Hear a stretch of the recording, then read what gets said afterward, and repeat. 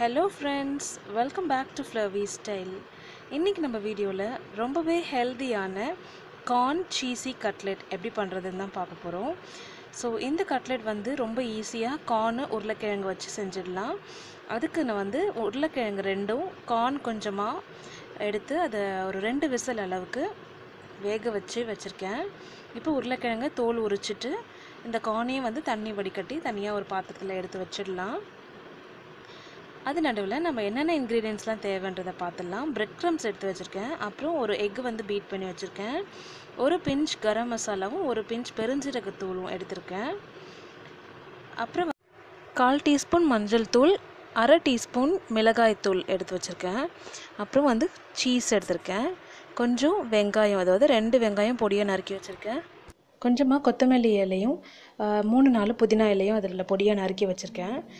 இங்கே வந்து உருளைக்கிழங்க தோல் உரிச்சிட்டு அந்த கார்னையும் வந்து வடிகட்டி எடுத்து வச்சுருக்கேன். அதை நல்லா மசிச்சிக்கலாம். சைட் பை சைடு வந்து நம்ம ஒரு பேனில் எண்ணெயை சூடு பண்ணி வெங்காயத்தை வந்து வதக்கி வச்சுக்கலாம். ஸோ அதுக்கு வந்து ரெண்டு டேபிள் ஸ்பூன் அளவுக்கு எண்ணெய் எடுத்திருக்கேன். அதில் வந்து இப்போ நான் நறுக்கி வச்சுருக்கேன் வெங்காயத்தெல்லாம் சேர்க்க போகிறேன் இப்போ இந்த வெங்காயம் வந்து ரொம்ப வதங்க தேவையில்லை. சும்மா லைட்டாக அந்த கலர் சேஞ்ச் ஆனால் போதும். ஏன்னா ரொம்ப வதங்கிடுச்சுன்னா அது நல்லா இருக்காது. அந்த நறுக்கு நறுக்குன்னு இருந்தால் தான் அது வந்து கட்லெட்டுக்கெலாம் நல்லாயிருக்கும் ஸோ வெங்காயம் இருக்கிறது அதில் தெரியணும். ஸோ ரொம்ப வந்து நம்ம சாஃப்டாக ஆக்கிட்டோம்னா அது நல்லா இருக்காது. அதனால் லைட்டாக வதக்கிக்கலாம். எப்போவுமே நம்ம சாப்பாடுக்கெலாம் வதக்கும்ல அந்த மாதிரி வதக்கக்கூடாது இதை. கலர் மட்டும் லைட்டாக சேஞ்ச் ஆகட்டும். ஸோ அதுக்கு வந்து நான் உப்பு போட்டு லைட்டாக ஒரு ரெண்டு தடவை வதக்கி த வதக்கி விட்டுறேன். அப்புறமா வந்து இதில் நம்ம சேர்க்க வேண்டிய மசாலாஸ்லாம் வந்து சேர்த்துட்டு இதை வந்து அப்படியே ஸ்டவ் ஆஃப் பண்ணி ஆற வச்சு வைக்க போகிறோம் ஸோ இப்போ என்ன மசாலானா நான் சொன்ன மாதிரி பெருஞ்சீரகத்தூள் கரம் மசாலா தூள் ரெண்டுமே ஒரு ஒரு பிஞ்சு. மஞ்சத்தூளும் மிளகாத்தூளும் காரத்துக்கு தகுந்த மாதிரி கா மிளகாத்தூள் மஞ்சத்தூள் சும்மா கலருக்காக போட்டு வச்சு ஸோ இப்போ லைட்டாக இதை கிண்டி விட்டு ஆற வச்சு வச்சுட்டு அந்த மசிச்சு வச்சுருந்து உருளைக்கிழங்கு கார்ன் இருக்குது இல்லையா அது கூட வந்து இதை சேர்த்துக்கலாம்.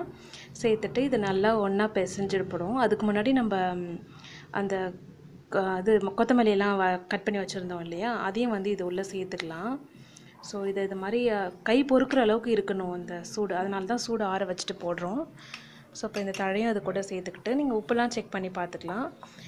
இதை வந்து இப்போ நல்லா பிசைஞ்சிட்டு எல்லாம் ஒன்றோட ஒன்று நல்லா கலந்ததுக்கப்புறம் இதை வந்து கையில் வந்து அந்த வடைக்கு தட்டுவோம்ல அந்த மாதிரி பேட்டீஸ் மாதிரி தட்ட போகிறோம் ஸோ கொஞ்சம் வந்து ரொம்ப மெலிசாக தட்டினா முறுமுறுன்னு ஆகிடும் நல்லா இருக்காது. கொஞ்சம் எப்படி சொல்கிறது ஒரு ஒரு இன்ச் அளவுக்கு அது மொத்தமாக இருக்கட்டும் அப்போ தான் நல்லாயிருக்கும் ஸோ ஃபஸ்ட்டு லைட்டாக நான் அதை விரிச்சிட்டு அதுக்குள்ளே வந்து நான் கட் பண்ணி வச்சுருக்கேன் சீஸ் ஸ்லைசஸ் இதுதான்.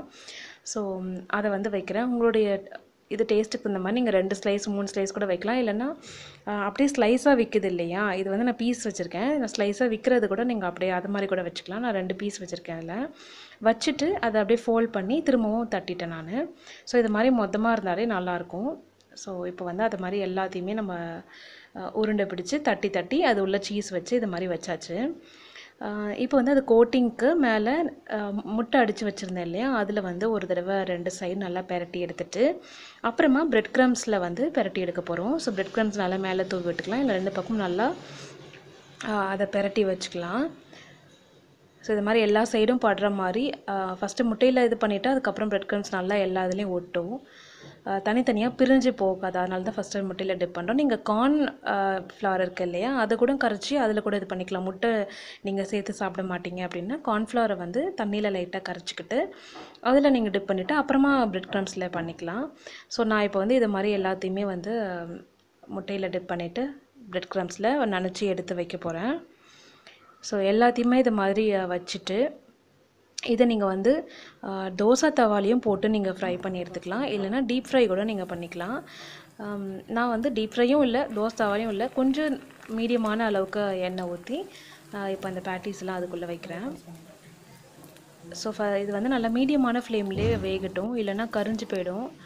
ஸோ மீடியமான ஃப்ளேமில் வெந்திருக்கு. பார்த்தீங்கன்னா சைட்ஸ்லாம் கூட நல்லா வெந்திருக்கு. இப்போ வந்து இன்னொரு சைடு நம்ம திருப்பி விட்டுக்கலாம். பாருங்கள் நல்ல சூப்பரான கலர் சேஞ்ச் ஆகிருக்கு இப்போ வந்து இன்னொரு சைடு இதை திருப்பி வச்சு இன்னொரு சைடு வேக வைக்கலாம். ஒரு த்ரீ மினிட்ஸ் ரெண்டு சைடு வெந்தால் போதும். லோ ஃப்ளேம்லேயே வச்சு வேக வைங்க. அப்போ தான் நல்லா உள்ளே இருக்கிறதுலாம் நல்லா வெந்து வரும். ரொம்பவும் வேக தேவையில்லை. ஏன்னா நம்ம வந்து உருளைக்கிழங்கு கார்ன் எல்லாமே ஏற்கனவே வேக வச்சுருக்கோம். ஸோ பாருங்கள் ரெண்டு சைடு வெந்ததுக்கப்புறம் சூப்பராக ரெடியாக இருக்குது இப்போ இதை பாருங்கள் சீஸ்லாம் அழகாக மெல்ட் ஆகி சூப்பராக வந்திருக்கு. ரொம்பவே டேஸ்டியாக இருக்கும். கார்ன் வந்து ரொம்பவே சத்து. அது மாதிரி குழந்தைங்களுக்கு உருளைக்கிழங்கு ரொம்பவே சத்தான ஒரு பொருள். ஸோ இதை நான் சாப்பிட போகிறேன் பாருங்கள் சீஸ் அழகாக இருக்கும்போது வருது.